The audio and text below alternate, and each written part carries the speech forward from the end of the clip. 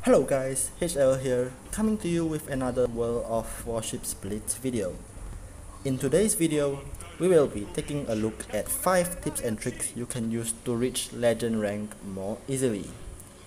Before I start the video though, I just wanted to point out that 86% of you who are viewing my videos are not subscribed, so if your subscription button is still red, please don't forget to go down below and give it a click, I will be really grateful. So, back to topic. Why would you want to reach legend rank? Firstly, reaching legend rank feels good because it's literally you could say the highest rank and the best looking badge in the game. It is always a very nice feeling and a personal achievement let's say when you reach legend rank for the first time. Second reason will be that legend rank has better weekly and monthly rewards with things such as copper, free XP, and the experience and let's say I think silver boosters. So reaching legend rank is really rewarding if you can do it easily. For those of you who are watching this video, if you are not able to reach legend rank or find it very difficult, you are in the right place. So stick around and watch till the end as I definitely feel that you will find this video helpful. I also want to mention that that all of these tips and tricks are based on my own personal playstyle, my own opinions, and my own experiences. So if you guys have different tips and tricks or different opinions, I would like to hear of them, so don't forget to leave a comment down in the comment section down below. With all of this stuff out of the way, let's dive into tip number one. At tip number one is to get a high score. Firstly, I want to briefly explain how points are given in this game. If you capture a capture point, you gain points. Damage is also counted as points, so getting high damage will certainly give you a higher point count. The way this pointing works is that after you win or lose a match, you will be given a ranking within your team. And the higher your rank, the more trophies you are going to gain. So, if your team wins and you get the best score which is the MVP you will gain the most number of trophies. However you can also still gain trophies even if your team loses by gaining high damage and capturing lots of points. So you can still be the MVP of the losing team. Keep in mind that being the person with the lowest damage on the winning team is not good either as this causes you to lose trophies so sometimes the way I like to play the game, I know many of you guys would disagree, but please hear me out. In order to gain trophies, I use this play for score thing. So if I see my team is losing, like let's say they are not capturing the caps, they are getting killed or are just doing something stupid, I generally prefer to start playing for damage, which sometimes can be really selfish because I simply stop capturing objectives, start sniping kills and shooting whatever I can get the most damage on. However, I find this method very effective as the damage counts as points and often scoring the highest damage gives you trophies even if your team loses. This way, you don't lose trophies, you still can gain some and this will definitely help you reach Legend League faster. Now you may ask, what are some ways to get more damage? And this will bring us to the next tip, which is tip number two, which is use battleships. Now, while I am aware that some of you guys also may disagree with this as I am not saying that cruisers, carriers, destroyers and stuff like that can't get high damage. Just that personally I feel that it is easiest to get high damage using a battleship, as you can see in my Roma videos. Now, why do I say the battleship is the easiest to deal high damage? Firstly, I feel that the battleship is pretty much the strongest in the game. It can literally fight everything. Even if you get rushed by let's say an enemy battleship, battleship versus battleship, if you know what you are doing, the chance of winning is still very high. In a battleship versus cruiser situation, you are almost guaranteed a win as the cruiser pretty much will just get clapped. Carriers also can wipe you with one row of torps like destroyers will be wiped by Saipan immediately or pretty much immediately That is not really possible as the battleship has a lot of health. I find destroyers hard to get high score consistently as sometimes the carrier, as I said, keeps spotting you, keeps targeting you and wiping you, or sometimes you run into a Worcester or a Venezia, and I don't mean that you rush straight into it, but sometimes they just pop up and you get caught off guard. Or sometimes you just keep being spotted and don't have a chance to get close enough to drop torps or use your guns. So basically, that supports my theory of using battleships. And I also did not mention how you can deal with destroyers easily in battleships. Like in ships like Roma, you can easily switch to HE, or as you should do with all battleships facing destroyers, you should switch to HE and you can blast the destroyer out of the match quickly if you know what you are doing.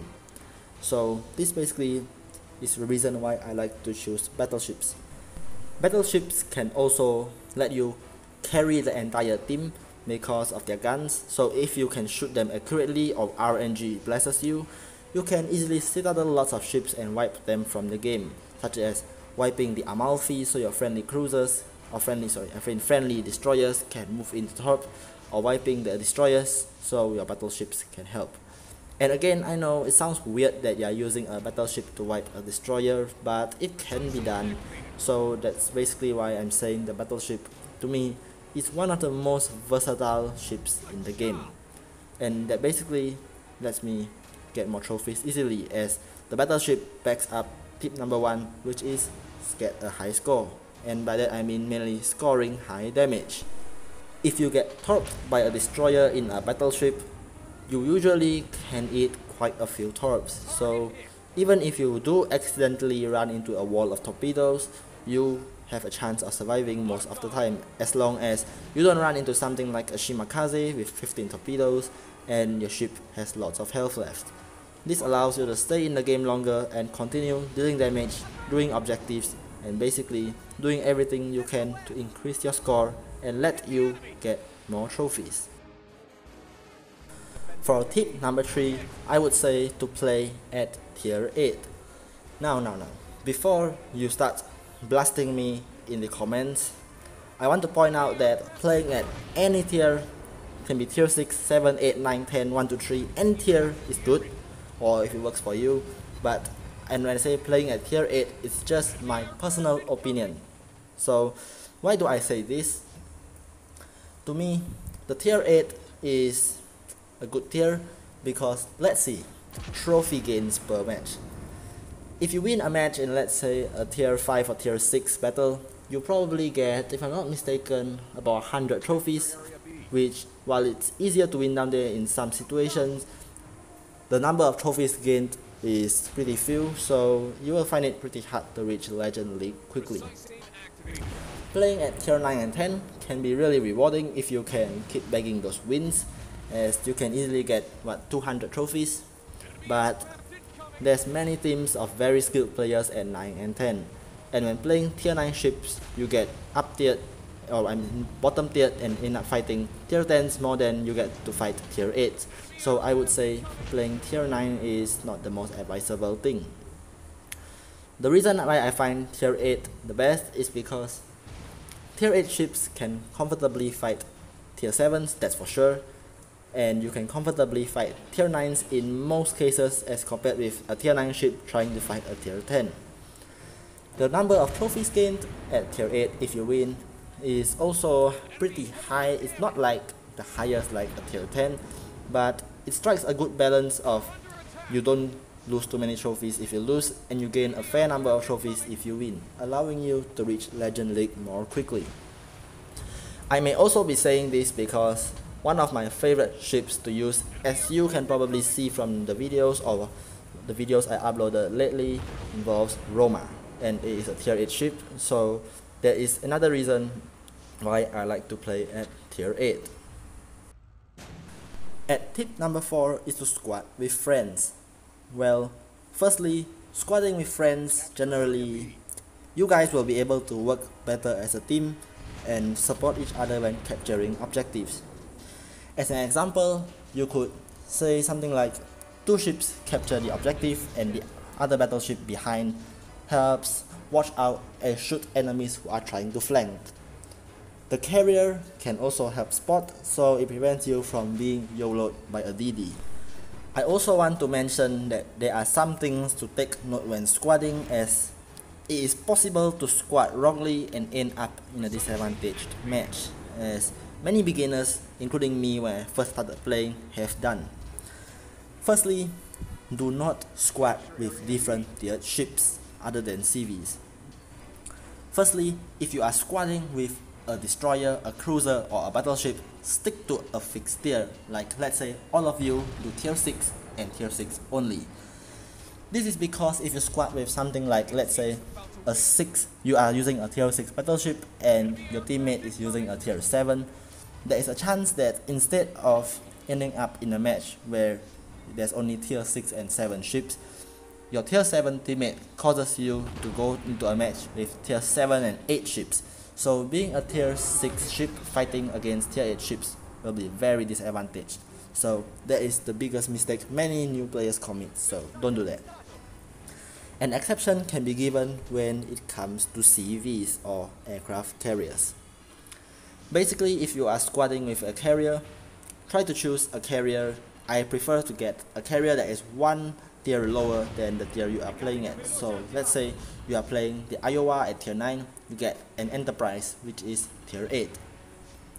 This basically in let's say 98 or 99% of cases allows you to be top tier in battles so you don't end up in a 9 and 10 match because the CV will cap the match level so you can only be in 8 and 9. However, do not choose a CV that is a tier higher than the battleship or the ship you are using as it will cause the same scenario mentioned above which means you won't just be bottom tier, you will be double bottom tier which puts you at a strong disadvantage as you will most likely get killed straight away. Speaking of teammates, I also want to give a huge shout out and thank you to my teammates Temujin, Funny Bean, TRB Slavomir, and Shikikan. You guys are awesome. I love playing with you guys as we always support each other and we win almost every match. Basically, we work well together. For the rest of you who I have played with, some of you I don't play with you so often, so I'm very sorry that I may not be able to remember your name at this moment. But if you are watching, thank you for working together. I hope to continue being able to play with you in the future. At last, we have tip number 5, which is playing at what I call off times. So firstly, let me explain what my off times are. Generally, I mean off as in the time where the server is less busy, which usually includes weekdays and not usually weekday mornings or mornings in general as most pro players usually play either at night or on weekends or the both combined together. So basically playing at these times gives you a lower chance of running into high ranked squads or squads that play very well so you have a higher chance of getting high scores. Playing at these times as I said there'll be fewer players so you may be, very lucky and get a bot match which pretty much guarantees you free trophies so that is basically why I like playing at off times even though I know some of you will say it's impossible because I understand you I am a college student myself and I have my own assignments but this is basically what I find to be effective of course this whole thing strongly depends on the server you're on. I am only familiar with the Asia server. I do not know how the North American server and the European server function. It may be different over there. So yeah, this is just purely for the Asian server for what I have experienced. I decided to include a bonus tip which again some people won't support me I know that this is a tip which basically is use Roma Again, why do I say this? Of course, I mean use Roma because the Roma is by far the ship I find the easiest to get a high damage. It survives well, it fights well, it moves fast, it hits hard, and the list goes on. It's just that good. The Richelieu also is good. It doesn't die easily. However, I find the Richelieu has a slightly lower damage as the guns tend to miss a little more often. So yeah, basically use the Roma if you can. Now, I am going to be showing you guys a battle, one of the battles which, and no this is not the battle that brought me into Legend League, but it's just a battle which I find there's some things I can share with you guys, so I will discuss why I did certain actions in the battle and what did I avoid to ensure I didn't get killed instantly. So here's the replay. But before we get into the replay though, I just wanted to analyze the matchmaking with you guys. Firstly, we can see that the enemy has a Roma and a Richelieu. And when I usually see this, I will try to focus fire one of them down first because both of them are very powerful ships and if they work together, they certainly can tear our team apart. The enemy also only has one DD, which is the Akizuki, and this is a domination game, which means on Trident there's both A, B, and C cap. So I know the Akizuki will either be spawning up at A or C. So if I don't see the Akizuki rushing into the cap at, let's say I'm at C and it doesn't rush into C, I know it's definitely at A and I don't have to worry about it for the most part. I will also be pausing the replay from time to time to insert a picture which will be a map with arrows so I can show you guys what I do to maximize my damage.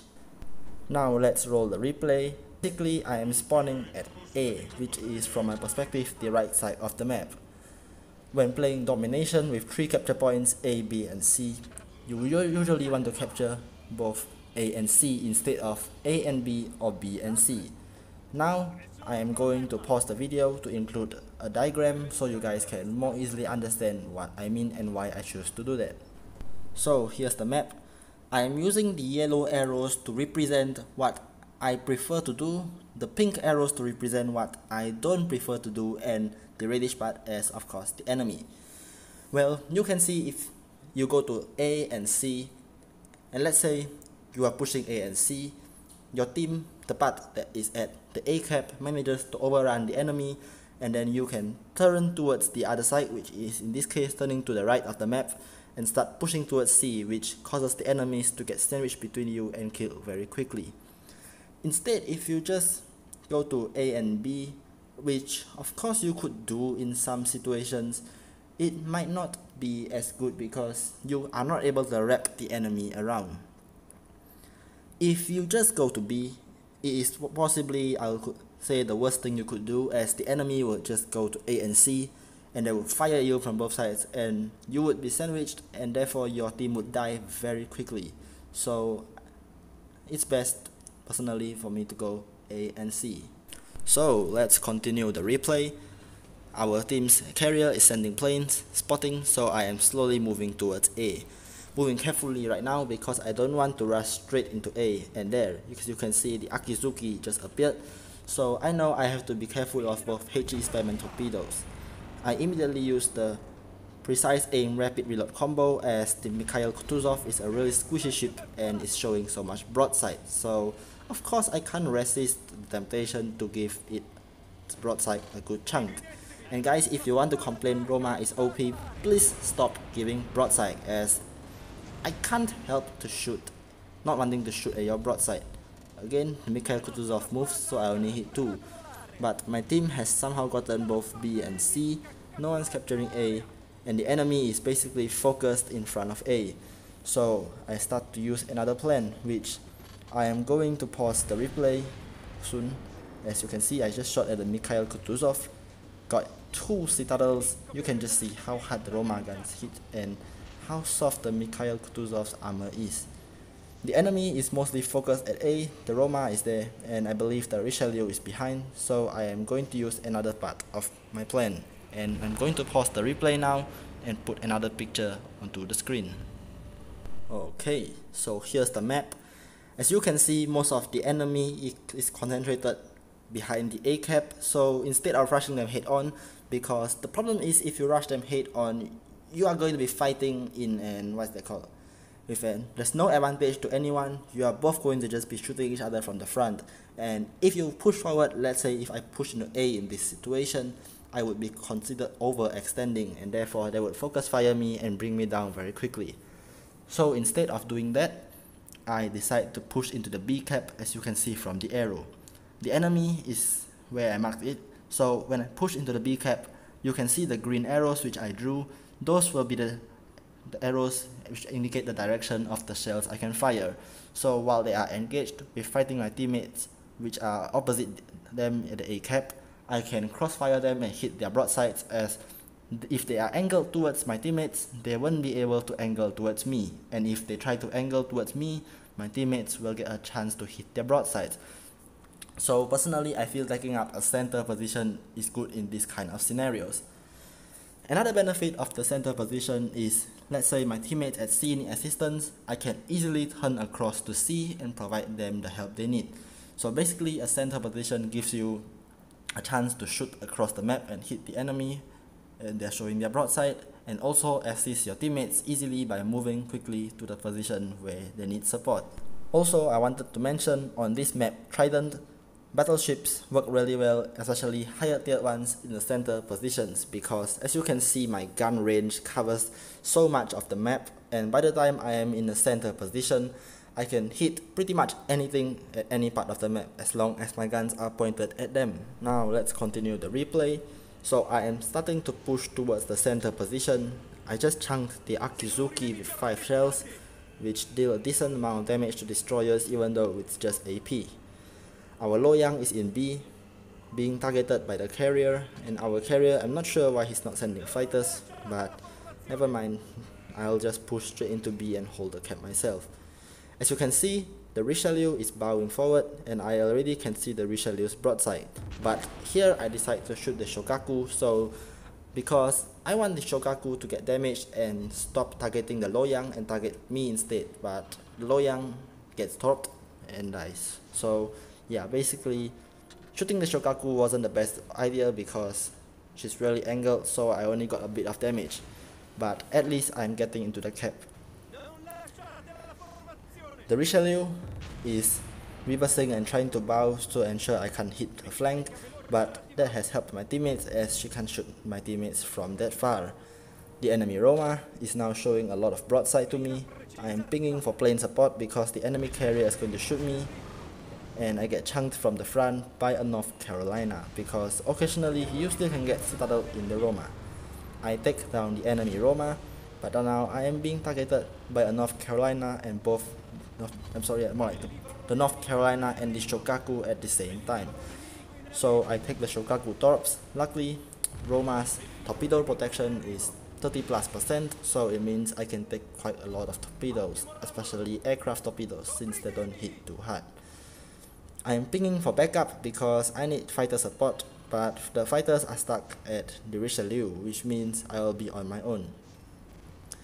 Luckily, the North Carolina got hit pretty hard, so another salvo and the North Carolina will be going down. And there goes the North Carolina, my second kill. Again, picking for backup, but our carrier's fighters are locked onto the enemies, so I am not going to get help from the carrier to defend me from the planes, and you can see that how trash Roma's AA is. I decide to fire at the Shokaku since she's in range and I want her to stop harassing me as it's getting annoying. However though, no citadel hits, which is a little annoying. So yeah, basically, I continue shooting at Shokaku, activate precise aim, and hit the Shokaku again. However, the Shokaku dies, it gets killed by our Enterprise, and the only target left is the Richelieu, and my guns are almost reloaded, so I finally decide to turn around, take a shot, and the Richelieu gets killed by me. Sorry guys, if I still stole your kill. But that's basically how it goes. So, as I recap, I went to the center position so I could crossfire the enemies and cause massive damage to them by firstly breaking their formation so they could not angle and force my teammates back and also chunking them from the side and taking them out quickly. So as you can see, I utilized 5 of the things I talked about today and to make a quick recap, the first is to get a high score so you can get more trophies. The second is personally I like to use more battleships or use battleships so I can easily score more damage. The third is play at the fixed tier which you like, for me it's tier 8. The fourth is to squad with friends which I didn't do in this video because I had no friends online at the moment but squad friends is better because you can get more reliable teammates that way. The fifth and the last tip is going to be playing at a time of the day where it's less busy so you can easily get more less of skill or let's say beginner opponents so you don't have to fight so hard. And that basically brings us to the end of the video. If you guys want to know what build I use for the Roma check out my previous video which I will link in the video description down below this channel is also about to hit 100 subscribers so if you guys could help me and press the subscribe button I'll appreciate it very much as you probably have noticed, there's no intro in this video, and this is because I am making a new intro, which I will be releasing at 100 subs, so stay tuned. So if you guys found this video helpful, you enjoyed watching it, please don't forget to spam the like button and subscribe to my channel for more future content. If you guys want me to showcase any ship or talk about anything in particular, please don't forget to tell me in the comment section down below. I would like to hear from you. That's all for now. My name's HL and I'll see you guys next time.